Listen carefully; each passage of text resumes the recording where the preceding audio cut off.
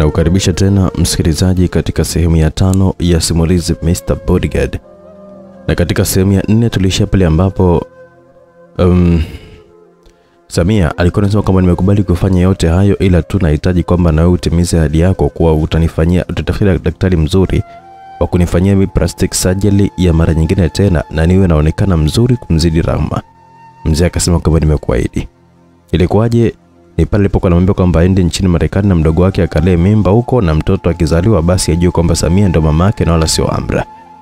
Tunaendelea na sehemu ya tano kujua nini kiliendelea. Mtunzi ni Salma Ramadhan, mimi director ON kutokea hapa Simulizi Max. Unalipata kupitia 0677 062012.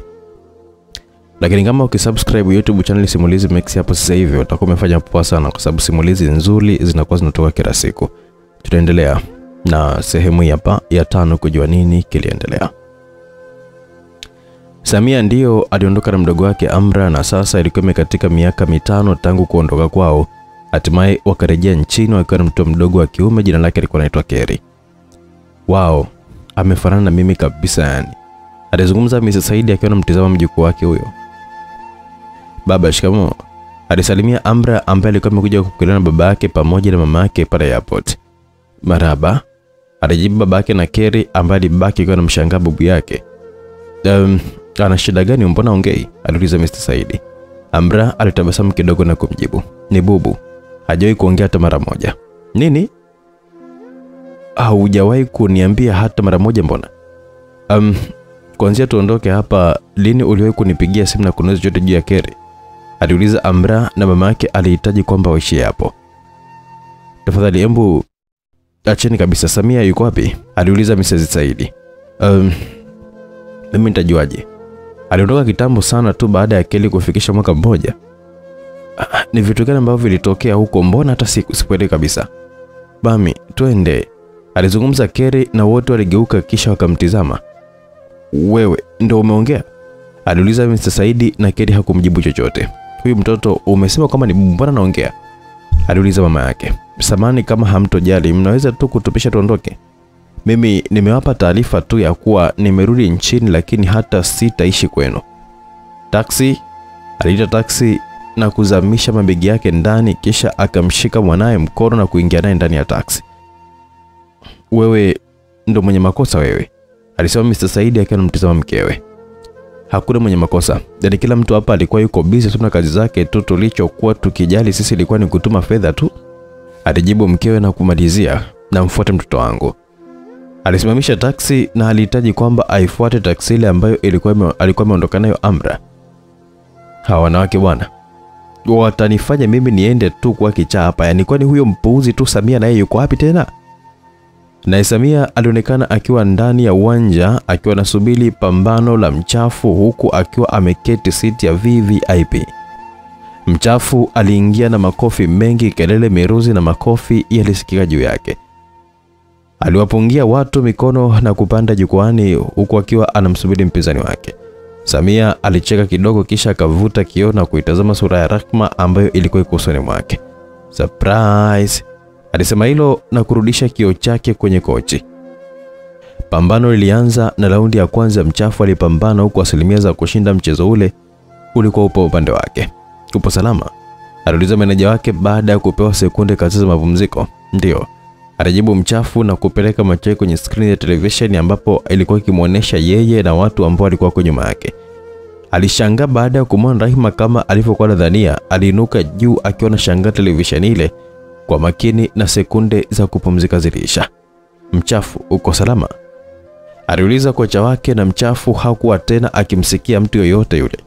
Mpinzani wake alimfuata na kutumia fursa hiyo kumpiga mchafu ambaye aligeuka nyuma, hakufanikiwa kumwona Samia ambaye alikuwa na sura ya Rahma. Kwa nini unakuwa unatembea kama babako wewe? Hmm? Unanipiga piga unapiga piga tu wenzako kila siku. Kwa nini lakini?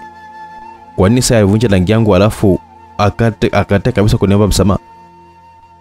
Aliuliza Ranim na huyo ndio mtoto wa mchafu. Kiukweli ni kwamba mtoto wako kama ataendelea hivi basi hatutaweza kuwa naye hapa shuleni kwetu kwa sababu huyu ni mtoto wa tano sasa hivi anampiga ndani ya miaka miwili tu aliyojiunga na shule yetu. Samani mwalimu, nitaongea naye tafadhali, ni mtoto ni mtoto tu huyo. Aliomba Rahma na Ranim kichwani kwake alikuwa amevalia boshuri tu, huku lipsi na macho yake yakiwa copyright kabisa ya mama yake.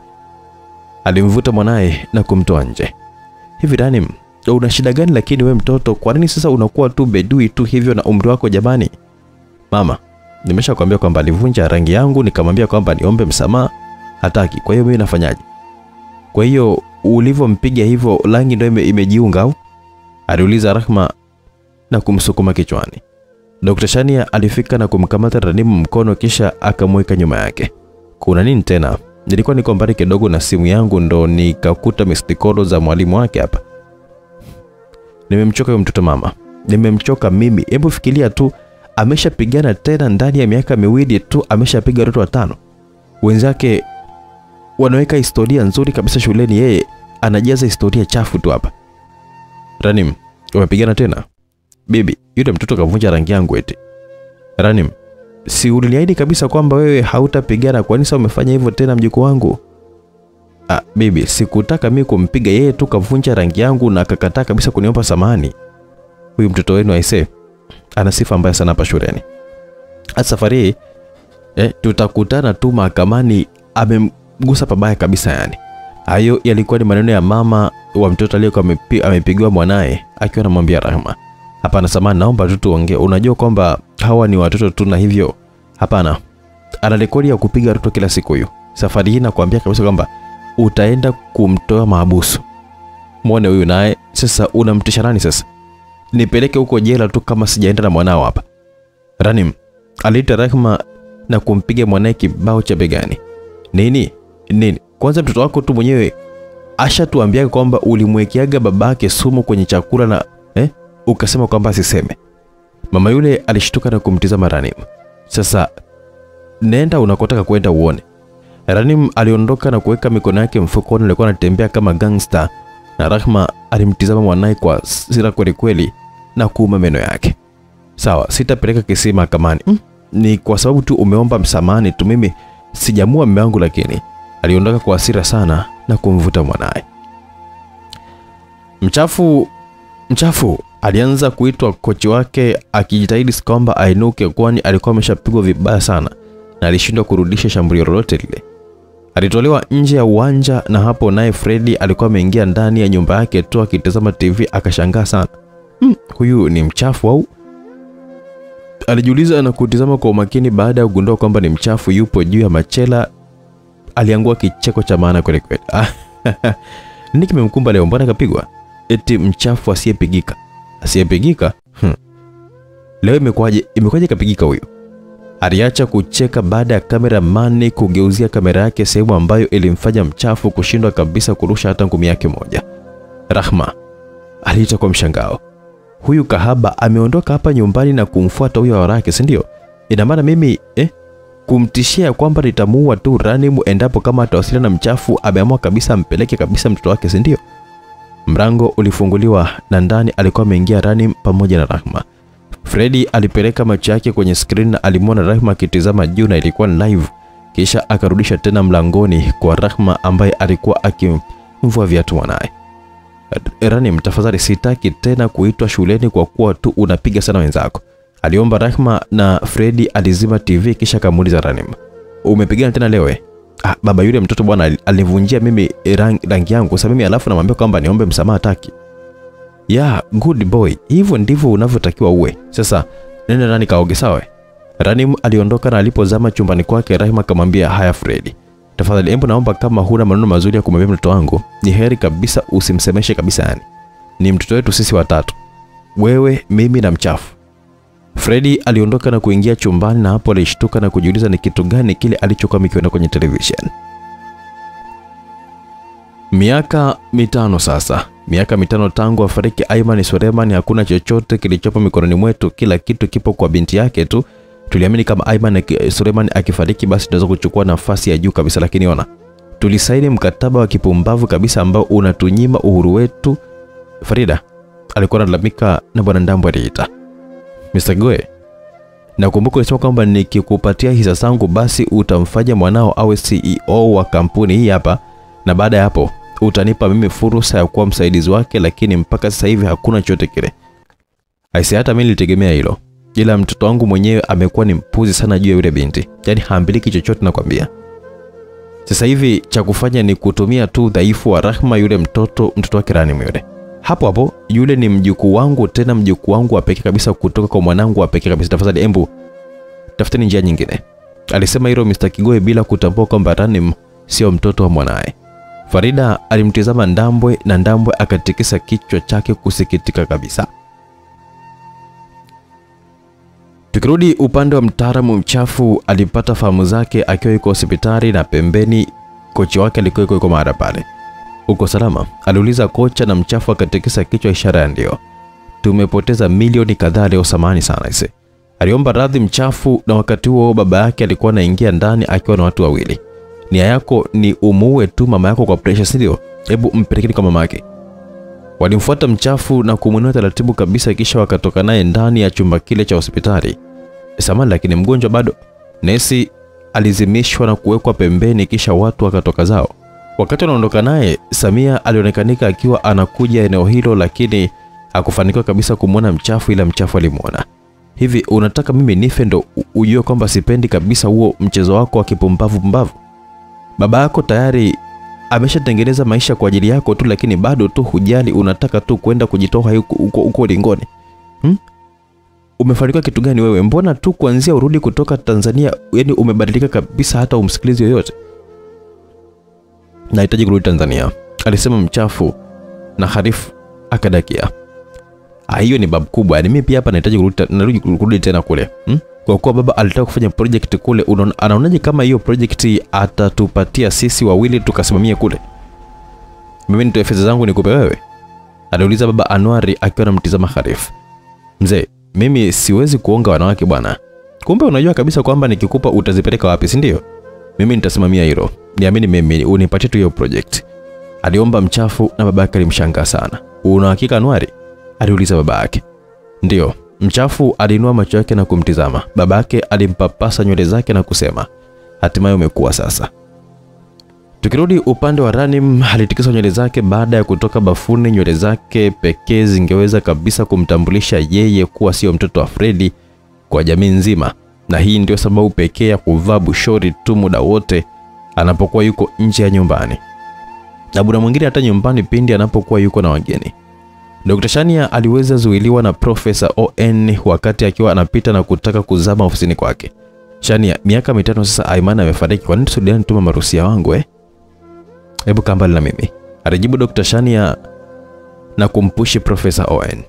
Um, utakubali tu wewe, siwezi kabisa nikaziacha mali zote hizi zikaweza kuhanghangi tu kwa mwanamke mmoja kama wewe. Dr. Shania alipofika kwenye meza ya ofisi yake aliketi juu yake na kumkumbuka binti ya Rusia. Rusia mrembo wangu. Alisema hilo na kufungua simu yake kisha akaingia kwenye gallery na kuingiza password kwenye lile faili moja.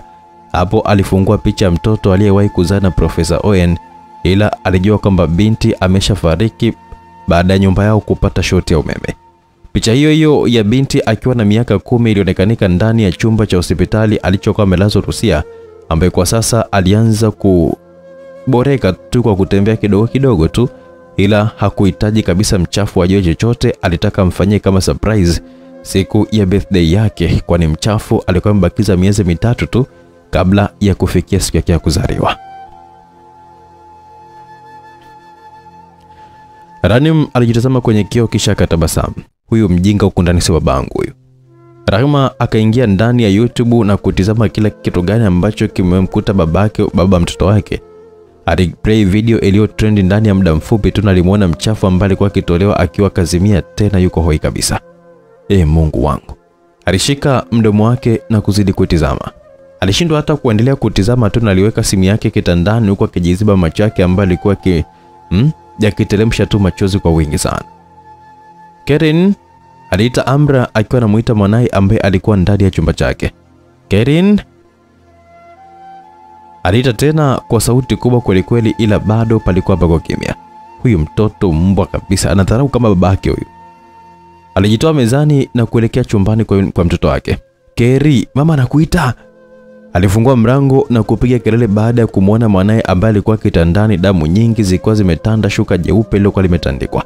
Keri, Aliita kwa sauti kwelikweli na kumwinua mtoto wake huyo ambaye alikuwa akivujwa na damu puani. Alitoka na mwanaye akiwa anapiga kelele kutoka kwenye apartment mpya kabisa ambayo alikuwa amepangisha, na nje alikuwepo kijana mmoja akiwa anaosha gari lake, na ndiye alikuwa ni mpangaji pekee ndani ya nyumba zile tatu zilizokuweko pale. Alimfuata Amra na kumsaidia mtoto. Nini shida? Damu tu, damu tu jamani mwanangu.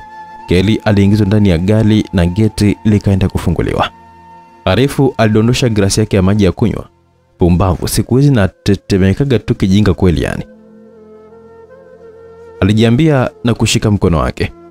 Hakuna cha kutetemeka, ukiona hivyo ujue kabisa kwamba kuna kitu kibaya kinatokea. Kama kipi? Alimuuliza mama yake na kuinama akiokota kile ambacho kilikuwa kimepasuka. Chochote tu kitu kibaya. Sasa kikamtokea nani ambaye nikawa ni akawa ni mtu wangu wa karibu? Mimi sina, sina, sina yote yule. Wewe huyo unapitapita kwa wanawake hivyo usikute tu hata una mtoto hata ujui wewe. Mm. Kondom zinafanya kazi gani? Alimuuliza mama yake na bahati mbaya sana alijikata na damu kudondoka chini. Nako tone la damu likaonekanika likiwa linadondoka kwenye drip. Karen aliwekewa damu na Amra alibaki akiwa anazunguka zunguka tu na kulia kushoto nje ya chumba alichokuwa amelazwa naye. Atakuwa salama tu usijali eh? Alizungumza mwanaume aliyekuwa amemsaidia Amra kumfikisha eneo lile. Dokta alitoka na kusema, baba wa mtoto, embu nifuate. Uh, mama baki hapa hapa. Uh, lakini Amra alihitaji kuongea na akazuiliwa. Hebu ngoja nikamsikilize. Lakini wewe sio Mama Karen, hebu tulia, nitakuja tu nikwambie kila kitu sawa? eh? Sasa sasa hivi wewe unaweza tu kaingia na umtizame mtoto. Sawa, alijibu Amra na kuingia aliporazuma naye. Bwana Saidi, Alex Alex. Ila mtoto hapa naona kabisa kwamba ameandikwa Kerini Saidi. Ya, waga napenda jina la Alex kuliko Saidi. Ila usijali tu unaweza ukanielezea tu. Mtoto wako ana tatizo la ukosefu wa Tukija upande wa mchafu bwana alikamata barabara tiketi yake ya ndege mkono wa kulia na mkono wake wa kushoto akiwa na begi. Vipi, tunaenda au umegomea hapa hapa? Aliuliza Harifu ambaye alikuwa yuko nyuma kakake, naye akiwa na tiketi ya ndege pamoja na begi. Hivi unafikiri kwamba mimi ninapaswa kumfuata yule mwanamke? Na kwa nini simfuate? Lazima umfuate tu ili kuweza kumuonesha ya kwamba eh, unaishi vizuri tu bila uwepo wake. Tena ili kumkomoa kabisa muolee yule ndugu yake Samia yule. Na kama vipi uniachie basi huyo Samia mimi. Mchafu alimtazama ndugu yake na kujishtukia. Hapo itakuwa nimeongea ujinga eh? Alijiuliza na kusema pote la pote. We kama uende mi naenda bwana. Kwanza nimesha misi yule Amra yule. Arif alimpita kakake na kuelekea sehemu ya kuweza kukaguliwa. Mchafu alitazama kiwanja kile cha ndege akajishauri. Zilipita dakika kumi na bado alikuwa yuko pale pale. Ehe, huyu bro haje au mbona kama yuko serious yet? Alijiuliza na kuinuka kwenye ndege. Kaa wewe, unaenda wapi? Aliuliza mchafu na kumketisha. Umenishtua ise. Kwa hiyo dokta amesema kwamba anahitaji atoe urota kwenye special kodi ya baba yake au eh, aweze kutafutiwa ndugu yake tu. Hiyo ndio njia pekee anaweza mwanao anaweza kupona. Sasa mbona baba yake amefariki, itakuwaje? aliuliza Amra akiwa anamtizama Alex. Hebu ngoja kidogo. Alitoka pale wadini akamwacha Amra ambaye alikuwa amebaki akiwa anamtizama kijana wake Karen ambaye alikuwa ameshapitiwa na usingizi. Nitakusaidiaje sasa mwanangu? Alimuuliza mtoto wake na akaanza kubujisha machozi. Mama aliita Rani akiwa anagonga chumba cha mamake na kuzama ndani. Mbona umeingia bila ruksa? aliuliza. Lakini sijakukuta uchi. Rahma aligeuka na kumtazama mtoto wake huyo. Unataka nini? Tumbo langu linauma. Alijibu Rani. Kavae nguo uende shule. Ukitoka tenda hospitali. Ah, mie tumbo linauma kweli, sio kwamba eti sitaki kwenda shule. Rahma alimsogelea na kumshika tumboni. Hilo tumbo linauma wapi tu, halina hata umoto wote, unasema tu kwamba linaumauma hapa. Akauliza Rahma. Ah, nini kelele asubuhi asubuhi tena? Aliuliza Fredi na kutoka bafuni. Baba, tumbo linauma. Alafu mama ananing'ang'ania mimi niende shuleni. Ukafanya nini sasa? Hebu nenda ukalale. Freddy, stop it. Alisema Rahma kwa sauti kubwa na kali kwelikweli. kweli. I said stop it. Aligeuka na kutikisa kichwa chake ishara ya kwamba aache kile alichokuwa nakifanya na mwanae kila mara. Hasa kama mtoto anaumwa, shuleni anaenda kufanya nini? Hana anakoumwa huyu. Hebu fanya haraka Rani mkavae nguo za shule huko. nenda. Fredi akampatia ishara rani kwamba aondoke, naye alifanya hivyo. hivi mtoto na kusoma wapi na wapi wewe, wakati babake mwenyewe ni mpiga ndondi huko eh? Na kushangaa tu sana tunavyomlazimisha tu kwamba asome. Mimi mamake ni msomi, hivyo atafuata tabia zangu. Tena Fredi, tafadhali kabisa na kuomba kwa mara nyingine usimpeleke mtoto wangu huko unakotaka kumpeleka wewe? Una hasira na mimi kwa kuwa tu eti nilikusaliti siku ya ndoa, hivyo naomba tu kwamba hasira zako ziwe juu yangu na sio kwa mwanangu. Hasira zangu ziwe juu yako? Hasira zangu hazijawahi kabisa kuwa na kikomo juu yako, na ndio maana mpaka leo hii sijataka kabisa kufanya chochote kile na wewe, kwa kuwa wewe ni mwanamke malaya kabisa. Unakumbuka kwamba mchafu alikwambiaje? Malaya, malaya mchafu. Ukiishi na hilo jina linakufaa kabisa zaidi, kwa sababu tu watu wanaamini kabisa kwamba wewe ni mke wangu, hivyo hakuna atakayeweza kukugusa wewe, sawa? Fredi alimsukuma Rahima aliyedondokea kwenye sofa, kisha akatoka nje. Rahima alibaki pale pale alipokuwa amesukumwa na kufumba macho yake. Samia aliwasili nyumbani kwa kina Mchafu bila kutambua kwamba Mchafu alishafunga safari ya kuelekea Tanzania. Karibu, mamake Mchafu alimkaribisha. Asante mama. Samani, sijui huyu mwenzangu nimemkuta hapa. Mwenzako gani? Akauliza mama Mchafu. Mchafu alijibu Samia, na hapo mamake Mchafu alikumbuka sababu ya mwanae kupoteza ilikuwa ni juu ya huyo huyo msichana. Wewe ni nani? aliuliza mama Mchafu, na Samia alijichekesha tu. Baba tayari alishachukua fedha kwa ajili ya kuikomboa kampuni yako na ulifanikiwa. Sasa kwa nini unahitaji mimi nirithi kampuni ya Royalty? Wewe ni wa kiume na yule ni mwanamke wako tu, kwa nini sasa akuongoze wewe? Nini maana ya kuwa mwanaume sasa kama mwanamke ndo anayekuongoza? Watu wote hapa Royalty wanakushangaa tu wewe tu na ujinga wako huo. Ni sawa, lakini siwezi kabisa kuchukua mali kutoka kwa mwanamke mimi sio dhaifu kiasi hicho eti na siwezi kabisa kufuata nyayo zako. Wewe kila kitu tu unachomiliki sasa hivi kilitoka mikononi mwa mama yangu, yaani huna chako kabisa hata kimoja hapa. Utathubutu kusimama mbele za watu kabisa ukasema kwamba ni mwanaume? Kofi zito likatoa usoni mwake. Sawa, mimi sio mwanaume, ila wewe ndio mwanaume kwa umepanga hicho kijumba chako tu na una una uwezo kabisa wa kuweza kulipa kodi, ndo unajiona kabisa ni mwanaume, si ndio? Sasa ngoja ngoja wanaume wenye akili waje wachukue hii kampuni, alafu wewe utabaki na huo wanaume wako. Mr. Kigoe aliondoka kwa hasira sana baada ya kuambia ukweli mtupu kutoka kwa mwanaye. Ah, bora angezaliwa tu wa kike, at least ningekuwa na faida tu ya mahari hapa. Rahma alimfikisha mwanaye shule na Ranini alikuwa anahitajika kushuka. rani aliita kwa utulivu sana. Mimi ni mama yako, si ndio? Ndio. Na unajua kabisa kwamba nakupenda sana, si ndio? Ndio. Sasa kwa nini unanifanyia hivi babangu? Aliuliza Rahma akiwa anamtizama mwanaye huku akitaka kulia. Kwa nini eti? Kwa nini unanitesa lakini kwa nini hata utaki shule? Ranini alibaki kimya toka anamtizama mama yake. Hmm? Hakuna mzazi ambaye atampeleka mwanaye sehemu ambayo anajua kabisa kwamba itakuwa na madhara kwake. Ranim, shule ni kitu kizuri mwanangu. Naweza nikakuachia tu mali na kila kitu hapa duniani lakini watu wakakunyang'anya tu vyote na kama utasoma hakuna atakayeweza kukunyang'anya elimu yako eh? Kwa nini utaki shule ti mwanangu? Alizidi tu kuuliza Rahma kwa sauti ya upore kabisa. Au ni shule huitaki nikutafutie kwingine? Ah, hapana. Sasa kwa nini mwanangu, siku za shule wewe unasema tu unaumwa unaumwa? Akauliza Rahma. Samani mama, sitakudanganya tena. Basi soma mwanangu eh? Usimfuatilie babako yule, hana heri kabisa yoyote yule eh? Anayekutakia wewe, sawa mtoto wangu? Haya, usome vizuri babangu eh. Umsikilize mwalimu darasani sawa baba eh? Sawa. Mama akuletee nini leo? Juisi. Sawa mtoto wangu. Mama anatafuta hela ili we usome uwe na maisha mazuri sawa? Sawa. Ranim aliufunga mlango ila alicheka na kusema, "Baba alishaka niambia kwamba uko vizuri sana kwenye kutoa machozi wewe." Ranim alizidi kucheka tu na kiukweli alishakuwa mtoto mtukutu kweli kweli. Ukiachilia mbali umri wake mdogo ambao alikuwa nao, kwa mara nyingi Fredi alikuwa anamfundisha utundu na hakuwa akimtakia heri hata kidogo. Ranim aliketi na baada ya dakika tano aliitwa. Come with your bag, akamwonyesha njoo na begi lako.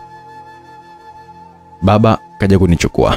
Alizungumza Rani na ndo ilikuwa tabia ya Fredi. Alitoa fedha kwa mwalimu wa darasa na kumtaka simamie maake chochote juu ya mwanaye huyo. Kwa wiki Ranim angekuwa anaweza kukaa masaa yote sita, siku moja au mbili tu.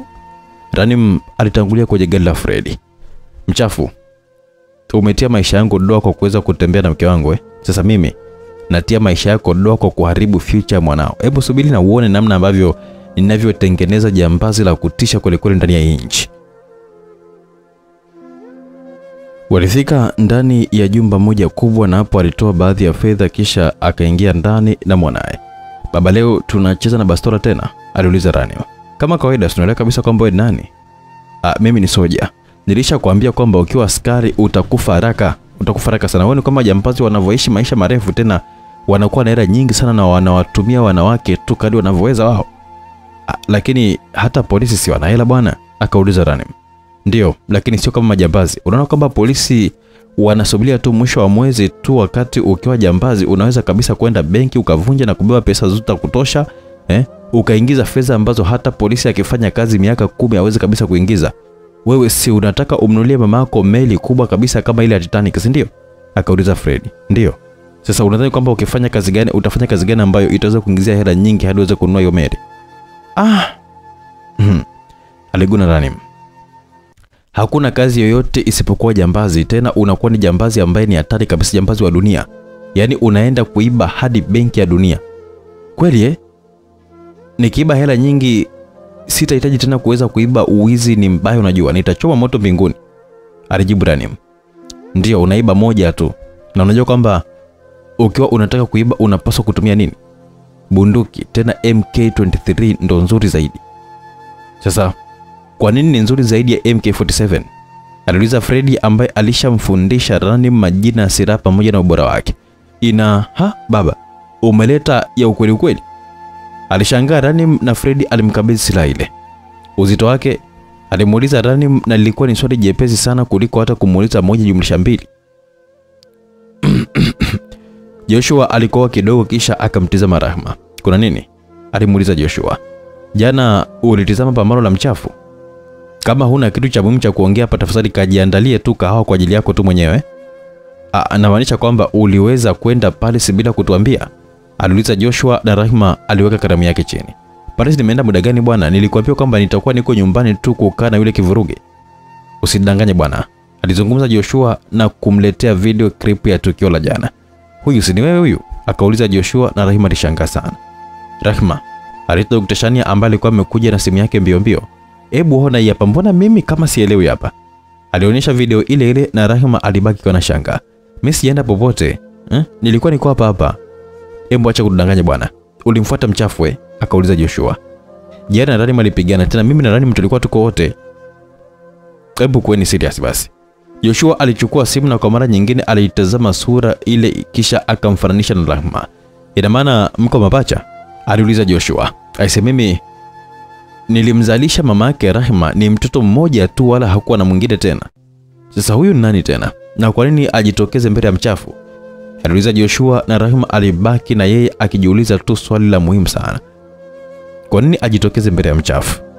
Nahitaji kwenda Paris na kumwambia mchafu kwamba yule sio mimi. Rahma alita Dr. Shania na kumzuia. Una shida gani binti yangu? aliuliza. Beni anahitaji kwenda Paris, sijui kwa nini huyu mtu amejitokeza mbele ya mchafu. Lazima tu mchafu atambue kabisa mimi sio huyo mwanamke. E, na vipi kama atataka kulala na mchafu tu alafu aseme ni mimi? Kwani wewe una shida gani? Tayari una ndoa yako na Fred? Hapana, alikataa Rahma na kuanza kulia. Rahma, tulishaliongea kabisa ili swala, ukaniambia kabisa hutatuma message wala kupiga simu. Sasa kwa nini unataka kwenda kabisa? Hebu tazama tayari kwamba unaye Ranim. Sasa nini ambacho unahitaji tena kutoka kwa mchafu? Aliuliza Dr. Shania na bado Rahma haikuwa rahisi kabisa kwake kuweza kuelewa kwani aliona kama anapokojwa mchafu. Sasa hapana nini? Akauliza Dr. Shania. Mimi siwezi kumruhusu yule mwanamke akae karibu kabisa na mchafu. Kumbuka mchafu mimi ni baba ni baba wa Ranim. He, Mungu wangu. Joshua, embu ongea naye wewe bwana. Alisema Dr. Shania na kumtupia mpira Joshua. Sasa unaenda kumwambia nini? Hayo kwa mfano mimi ndo mchafu hapa, embu unaniambia nini sasa? Mrango wa ofisini ukarudishwa na hapo akaonekanika vyema kabisa Mr. Kigoe. Maskini mtoto wangu, kumbe hata mtoto sio wake tena. Jamani, jamani, jamani. Alisikitika huku akionyesha kuhuzunishwa kabisa na maneno yale ambayo alikuwa ameyasikia japo kwa siri sana. Alimpigia simu kijana wake Fredi na alikuwa yuko bize pamoja na Ranim akiwa anamfundisha kulenga shabaha, sasa kupitia silaha yake ya kweli kabisa na vidude vikiwa viko masikioni mwao. Baba, hii silaha nzito zito kidogo. Ah, wewe ni wa kiume bwana, kitu kizito kwako ni pesa, tuna sio vingine hivi. Embu lenga katikati ya moyo pale. Fredi alikamata silaha kwa nguvu na mikononi mwa Rani na kufyatua zaidi ya tatu. Yaani unakuwa mwoga mwoga tu, mbona babako sio mwoga tu hata kidogo? Au babako ni mwingine tena? Maana mama yako ni mshenzi yule. Ranim hakuweza kusikia hata neno moja kutokana na kwamba iafoni zake za kuzuia sauti zilikuwa ziko masikioni mwake. Um, kama mimi naenda klabu kwanza, alisema hiyo Harifu baada tu ya kutua airport. Hatuko hapa kwa ajili ya kujivinjali hapa, na kitu kingine utafanya kile ninachokuambia tu, nifuate. Sasa huyo Osama bin Laden pumbavu kabisa, yaani anaanza kunipangia masharti. Sasa subiri aone, alisema Harifu. Profesa On alishangaa kumwona mchafu na Harifu na alipohitaji kumfuata alimwona mgeni wake aliyekuwa amekuja kumpokea airport. Hivyo safari yake ya kutaka kumfuata mchafu ikaishia hapo. Hmm. Alexi alihema na kumtizama Amra ambaye alichukua zaidi ya masaa mawili akiwa ameketi tu sehemu moja na kuwaza namna atakavyoweza kupatiwa majibu na dokta. Kwa hiyo itakuwa ni ngumu, labda ujaribu tu kumpata ndugu yake, ndugu wa mume wako tu e, tutizame kama urota wao utaweza kuendana, tofauti na hivyo kwa kweli utampoteza mwanao. Kwa hiyo mume wako pia hana ndugu yoyote ule aliuliza alexi na Amra alitikisa kichwa akikataa. Mm, sasa unamsaidiaje mwanao? aliuliza Alex. Bado Amda alitikisa kichwa, ishara ya kwamba hajui. Au kama una hela hela, basi embu labda tu ukajaribu tu nchi za nje, wale kule kidogo wako mbele kimatibabu kuliko sisi. Amra alimtizama Alex na hapo alipata wazo. Embu ngoja nimtafute babangu. Alijishika mfukoni na kutoa simu yake. Keri Saidi aliita nesi na wote waligeuka kumtizama. Dokta ameshampatia ruhusa, hivyo mnaweza kwenda tu kumchukua.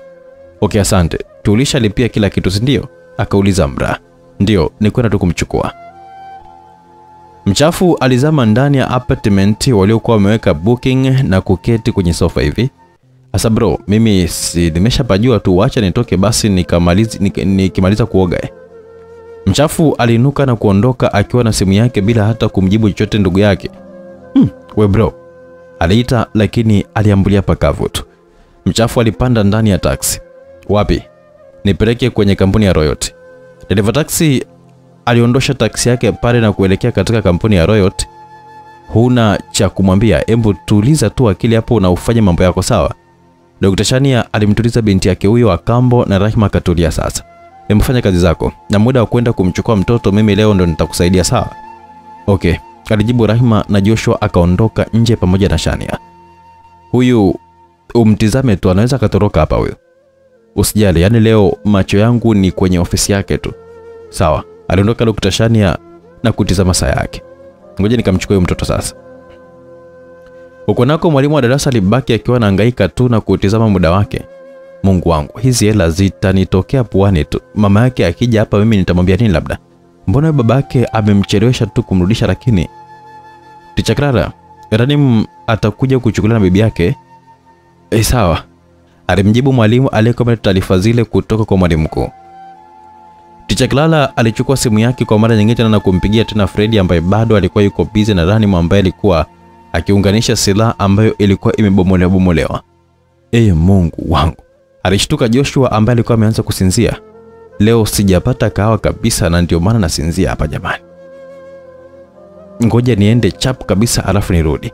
Aliondoka na wakati anatoka tunaye mchafu alikata kona na kuelekea ofisini kwa Rahma. Yes, hello. Can I talk to mchafu please? Ndiyo, halo, naweza kuongea na mchafu tafadhali? Niko hapa. Ilisikika sauti nzito tena ambayo anaifahamu. Ilifanya mapigo yake ya moyo yaende kwa kasi sana. Aligeuka taratibu kabisa na kumtizama. Simu ilimponyoka na kudondoka chini huku bado akiwa na mshangaa mchafu.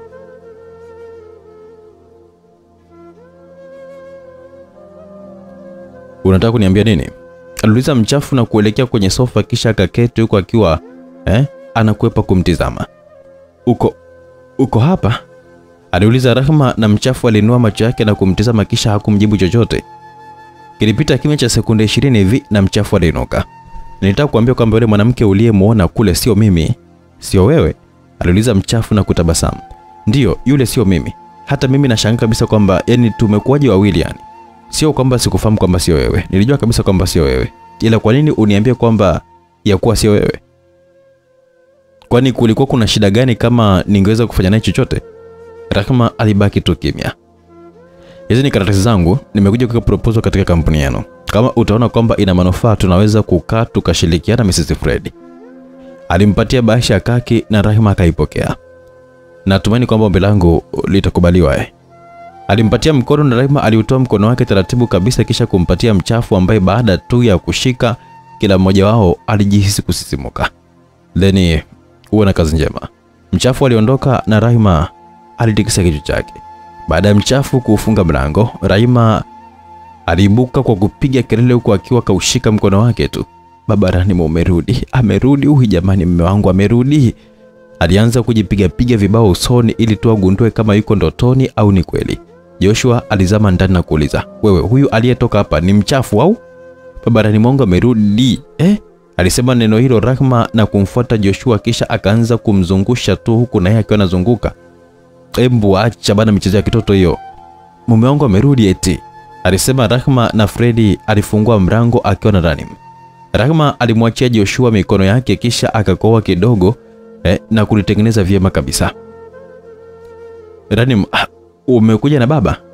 Ndiyo, baba alinichukua leo kutoka shuleni. Basi sawa, ngoja nimpigie mama simu kisha nimwambie kwamba umeshachukuliwa.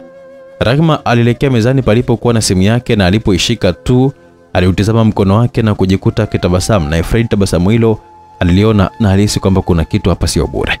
Mbona kama leo unatabasamu sana? aliuliza Fred. amna alijibu Rahma na kupiga simu akiwa anampigia mama yake.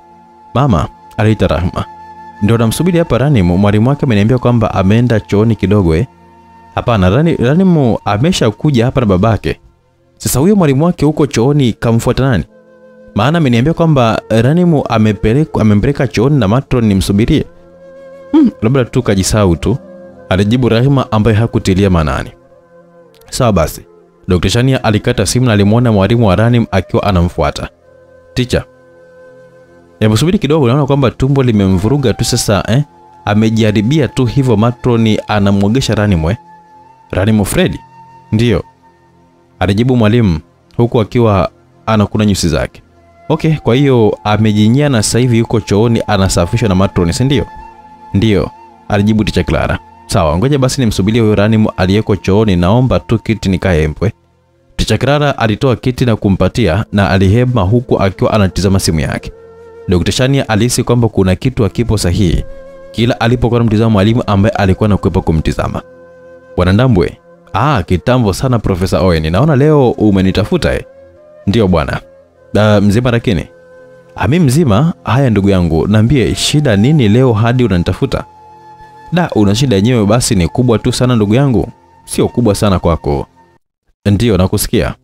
Asa ndugu yangu, hapa nilipo nimekwama, alafu kuna profesa mmoja hivi kutoka Paris. Uh, nimemleta hapa chuoni na amegoma kabisa kuanza kufanya kazi pasina nusu ya mshahara wake, na kama eh, unavyoelewa tena kwamba mwezi mbaya sana huko, sababu wanafunzi ndo wanamaliza semester yao, alafu wakija nyingine ndo wanaweza kutoa ada. Saa kiasi gani unataka profesa? Kwa sababu unaongea sana ise.